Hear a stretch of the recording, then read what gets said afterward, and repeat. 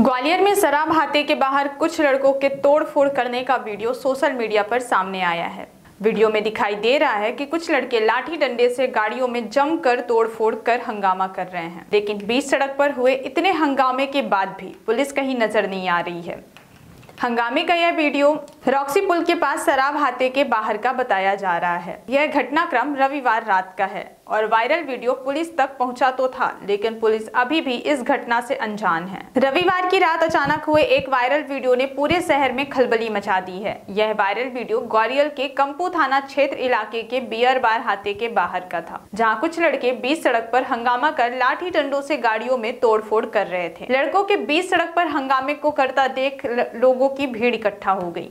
हंगामे को देख रहे, कुछ लोगों ने अपने मोबाइल से वीडियो बनाकर सोशल मीडिया पर वायरल कर दिया।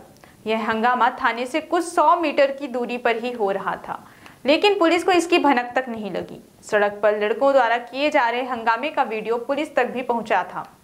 लेकिन पुलिस का कहना है कि हम हंगामा करने वाले लड़कों की तलाश कर रहे हैं।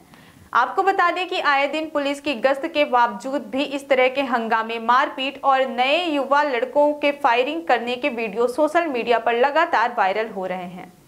लेकिन पुलिस हर बार की तरह ऐसे लोगों पर सख्त कार्यवाही करने की बात कहकर अपना पल्ला झाड़ देती है।